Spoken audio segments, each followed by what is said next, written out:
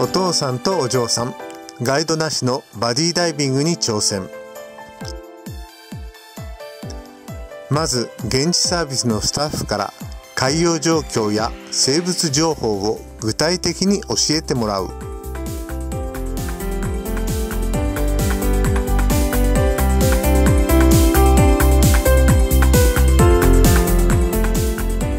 情報をもとに2人で潜水計画をしっかり立てる。潜水目的潜水ルート最大深度潜水時間マルチレベルか単一潜水か残圧の管理はどうするかはぐれた時にどうするかなど緊急時の対応についてもしっかり確認し合おうゆとりを持った安全な潜水計画を立てようスタッフから聞いた生物情報をまとめてみた。水深20メートルのボートのちょっと沖にメジンベニハゼ。ボートにはクロスジウミウシやピカチュウ、ベニカエルアンコウ。ボートから少し深度を上げた18メートルあたりにイバラタスとヒレナガカサゴの幼魚。さらに深度を上げた魚礁にアオリイカが産卵に来ている。ケーソンの横にねじりん棒。ケーソンとガイドロープの間付近の砂地には海天狗が確認されている。生物情報をもとに二人が計画した潜水ルート。潜水計画は深いところから徐々に深度を上げていくのが基本。エントリーしてココモの前のガイドロープに沿って沖に出る。砂地に出て鎖に当たったら左方向に進む。ケーソンまでたどり着いたら沖に向かいボートを目指す。ボートは水深20メートル。そのちょっと先に第一目標のミジンベニハゼ。ミジンベニハゼに挨拶したらボートに戻りクロスジウミイシ、ピカチュウなどの生物探し。ボートを離脱して深度を上げる。水深18メートルあたりのイバラダスとヒレナガカサゴの幼魚探し。さらに深度を上げる。水深16メートルの魚礁でアオリイカの産卵を観察。石垣まで戻り、石垣に沿って左に進む。ケーソン付近でネジリンボウと海天狗探し。安全停止をしてロープに沿ってエキジット。今回のダイビングはこんな計画だ。大瀬の湾内は沖が60度くらい。エントリー前に沖と岸がわかるようにコンパスを合わせておこう。ここのポイントは岸にたどり着けばどこからでもエキジットできる。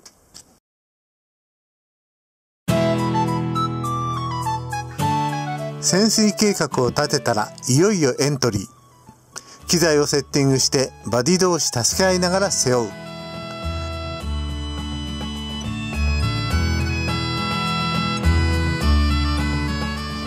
バディチェック。バルブは開放されているか。残圧は適正か。レギュ、オクトは正常に作動するか。BCD の吸気排気。ドライの吸気排気の確認。ウェイト量は適正か。マスク、フィン、大根の準備はできているかなどをチェックする。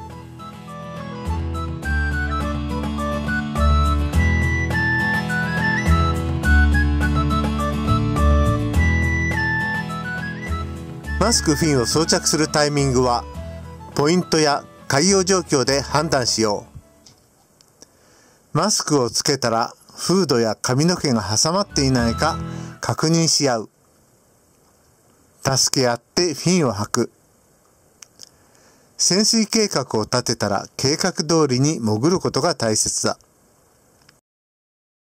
慣れないうちはスレートに地図などを書いておくと安心。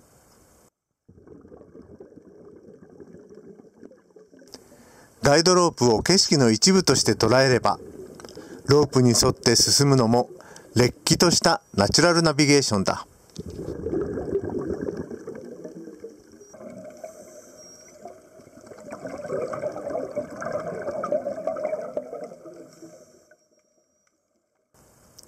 バディとアイコンタクトを取りながらゆっくりと進む。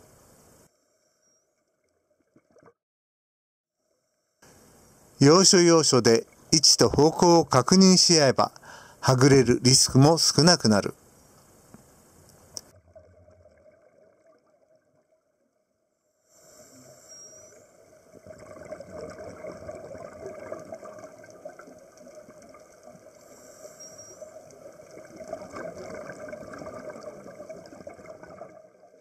大瀬の湾内は深度差によるナビゲーションが可能だけど、コンパスを使えばさらに確実だ。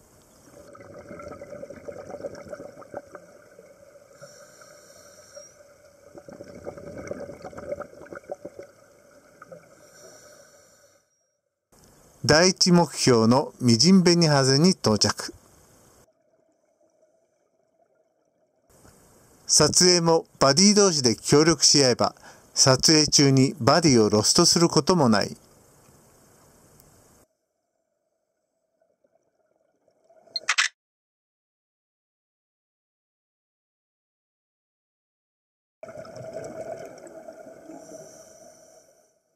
次にボートで生物探し。クロスジューミーシピカチュウをゲット。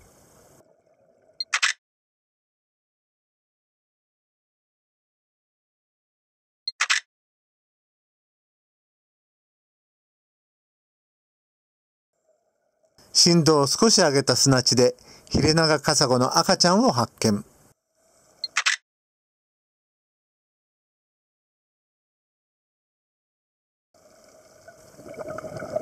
さらに振動を上げて魚礁に到着。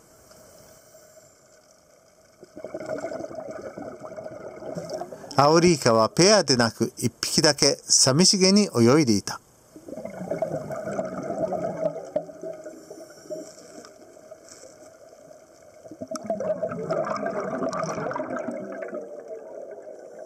魚礁を離れ、バディとアイコンタクトを取り、ケーソン近くのネジリン棒探しに向かう。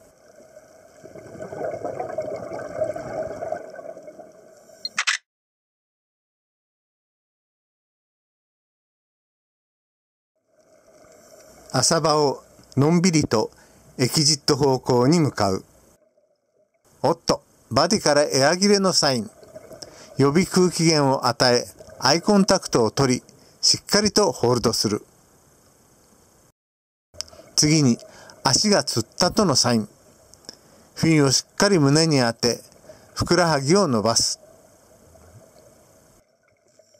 トラブル対処もバディダイビングの大切なスキルだ。トラブルも回避し、残圧を確認し、ゆっくりとエキジットに向かう。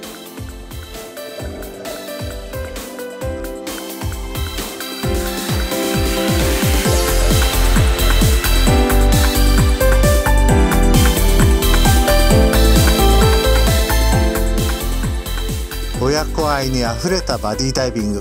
お疲れ様でした。大瀬崎ココモでは富士を見ながらの混浴ジャグジーが楽しめる。撮影した水中生物を見ながらダイビング談義に花が咲く。